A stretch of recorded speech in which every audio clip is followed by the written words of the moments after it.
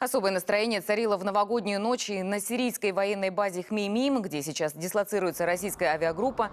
2016 военнослужащие встретили по московскому времени. Они собрались у 15-метровой елки, привезенной с родины. Компании Деда Мороза и Снегурочки послушали поздравления министра обороны, а уже без пяти 12 традиционное обращение президента.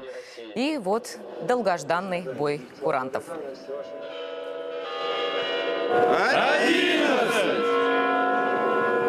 Верим!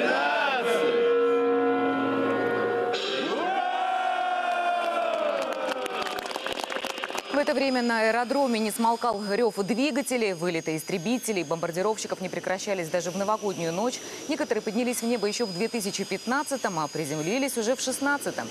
Но все без исключения получили свои подарки. Самолетом из России привезли то, что так напоминает о доме. А еще рисунки и открытки, которые передали военным воспитанники кадетских корпусов и детских домов. Порадовал и праздничный стол, оливье, селедка под шубой и мандарины.